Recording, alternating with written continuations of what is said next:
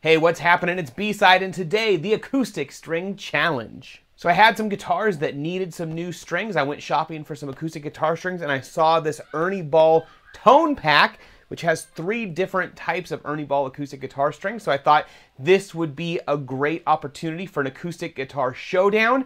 Three packs. I happen to have three guitars that have spruce tops and rosewood back and sides two D28 sitting right here. We have a Gibson J45 Custom, the Rosewood one, sitting on the wall. So I thought, let's uh, change some strings and see what they sound like.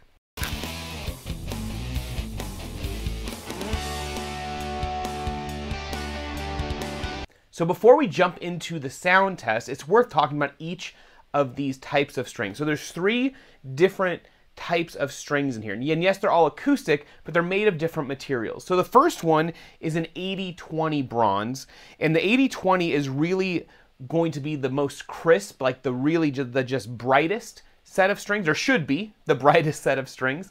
The second one is a phosphor bronze. Now both of those are called earthwood. So I'm going to put a picture of the pack um, when I'm playing each one of the guitars so you know which strings you're hearing.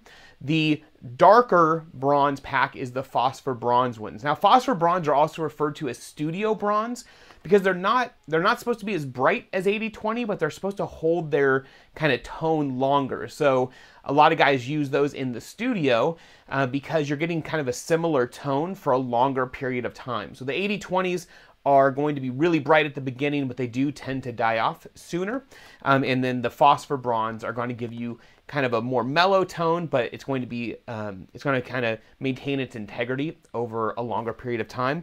And then we have the aluminum bronze. And so what Ernie Ball says is they are superior projection and clarity, enhanced low end, and improved corrosion exist, uh, resistance. So you won't know about the corrosion resistance, but hopefully you can hear the projection and clarity and enhanced low end. I've never played the aluminum bronze, so this will be my first time. Basically, I've strung up all these guitars, I've stretched the strings out, played them each for about five minutes, and now you're going to hear exactly what it sounds. So these are seriously fresh strings on all three guitars. Let me know what you think in the comments below.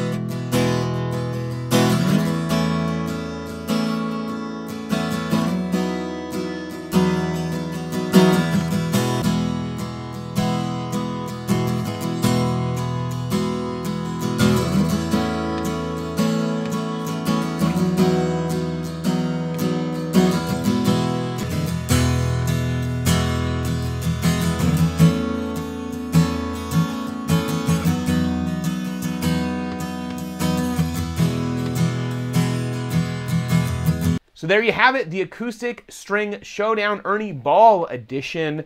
Let me know what you think in the comments. Which pack did you like the best? I was actually surprised a little bit by the Phosphor Bronze. I didn't think, I, I used to play Phosphor Bronze, but I've been playing 80-20 for years. So I thought I would just really dislike the Phosphor Bronze, but I actually liked it a lot more than I thought I would, not enough to switch back to it. But the aluminum bronze really have my attention, so it'll be, uh, I may end up switching to those. But if you want to check out uh, this tone pack, uh, link to it is in this description below. Like I said, let me know in the comments what you think. If you enjoyed hanging out today, would you consider hitting that subscribe button, hitting the little bell? We're always doing fun guitar stuff like this on B-Side, and we'll see you next time.